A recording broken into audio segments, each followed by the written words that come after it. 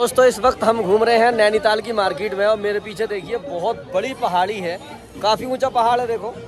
ये देखो, चारों तरफ़। बहुत ऊँचा पहाड़ है, ये देखो।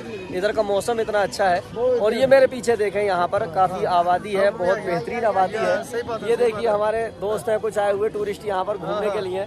कहाँ से आए भाई आप? पंजाब। से थैंक यू बहुत अच्छा शुक्रिया बहुत अच्छा लगा आपसे मिलकर ये हमारे कुछ भाई आए हुए पंजाब से घूमने के लिए ये देखिए। और ये खूबसूरत वादी जो है आप देख पा रहे हैं। ये मेरे पीछे देखा भाई ऊपर लोग रहते हैं इतनी यार यहाँ पर कुछ गाड़ा वगैरह हो रहा है ये देखिए। काफ़ी अच्छी मार्केट है यहाँ पर। ये देखिएगा बहुत खूबसूरत मार्केट है खूबसूरत लोग हैं और चारों तरफ़ से लोग यहाँ पर घूमने के लिए आते हैं। देखिए काफ़ी अच्छा टूरिस्ट ढाबा ये है काफ़ी अच्छे और लोग यहाँ पर है काफ़ी अच्छी मार्केट है। जो हमारे दोस्त आए हैं वो कुछ खरीदारी यहाँ पर कर रहे हैं। ये देखिए मैं दिखाता हूँ आपको अभी।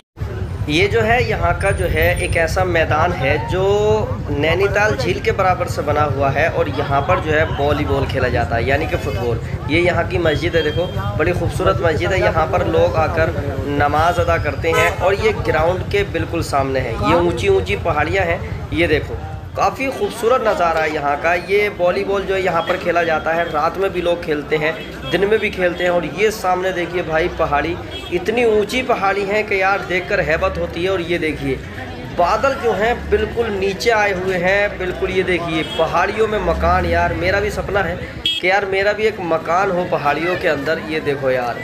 पहाड़ियों के अंदर मकान, यार, कितना मतलब एक अजीब सा इन लोगों को लगता होगा, क्योंकि हम और आपको देखकर इतना अजीब लगता है कि पहाड़ियों के अंदर लोग रह रहे हैं। मेरा भी सपना है, यार, एक नैनीताल के अंदर एक मकान हो जाए, अपना छोटा सा एक झोपड़ी सी, और इन खूबसूरत वादियों में, खूबसूरत फ़िज़ाओं में, खूबसूरत हवाओं में, यार, मैं भी वहाँ पर टहल कर आऊँ। ये देखिए, कितना बेहतरीन मौसम है, यार।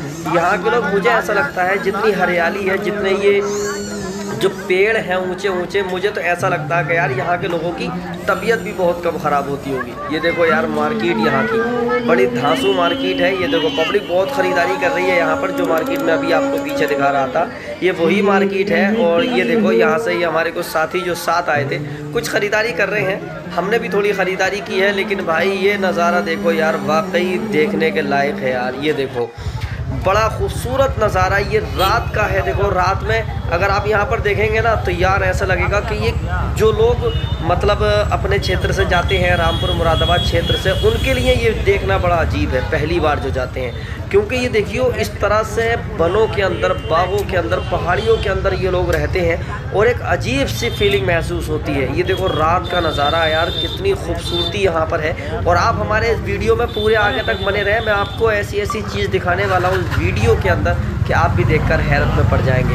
हम अभी वहीं पर खड़े हैं। अभी हमने दिन का व्यू आपको दिखाया था ये रात का व्यू यहाँ पर चल रहा है। और ऐसी पहाड़ियों के अंदर रहना और ऐसे मकान बनाना यार वाकई एक ताजुब की बात है। नैनीताल जो है ना यार कहते हैं दुनिया की जन्नत है यार। बड़ा मज़ा आता है वहाँ पर जाने के बाद। ये रात का नज़ारा देखिए लाइटों से कैसा जगमगा रहा है चारों तरफ़। ये देखा भाई ये जो है देखो ये जा रहे हैं लटक के। और ये देखो ये देखो वहाँ पर पहुँच गए भाई ये देखो। ए, ये पहुँचे ये पहुँचे ये पहुँचे। इनको वहाँ पर पकड़ लिया जाता है। एक तरफ़ से इनको फेंका जाता है, दूसरी तरफ़ जाकर ये लोग रुकते हैं और ये पूरा ग्राउंड इसी तरह का बना हुआ है। इसके अंदर तैरने के लिए, कश्तियाँ चलाने के लिए काफ़ी सारी चीज़ें हैं। देखो मेरा भाई ये मेहनत कर रहा है इसके अंदर। और ये देखो, ये एक ऐसी चीज़ है यार, जैसे वो कहते हैं ना, हजामा, जैसे हजामा कराने के लिए सुइयाँ जो है बदन के अंदर चुभोई जाती हैं, ये बिल्कुल वैसा ही है।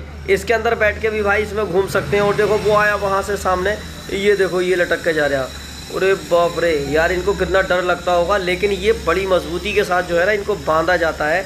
ये देखो ये देखो ये पहुँच गया पहुँच गया। भाई मेरा पहुँच गया, ये, वहाँ स्टेशन पे जाके इसको भी, ये देखो पकड़ लिया। इसको भी भाई पकड़ लिया गया है। बड़े खूबसूरती के साथ ये देखो। ये देखो, कश्तियाँ चल रही हैं, ये छोटी कश्ती है, और मेरा भाई मज़े ले रहा है, अकेला ही तैर रहा है, और ये देखिए यहाँ पर ऊपर को रास्ता जा रहा है। अभी हम जो जा रहे हैं, यहाँ पर देखिए, ऊपर को रास्ता, काफ़ी सारे लोग जो हैं, वो यहाँ से ऊपर को जाते हैं। भाई, बादल देखो यार, यहाँ पे कितना करीब है।